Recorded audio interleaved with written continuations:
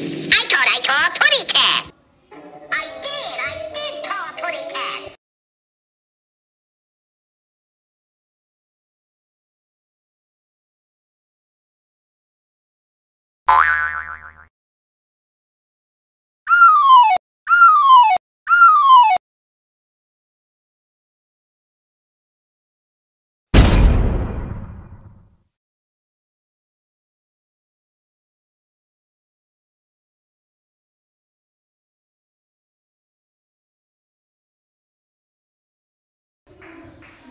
I never thought just being a pussycat could get so complicated.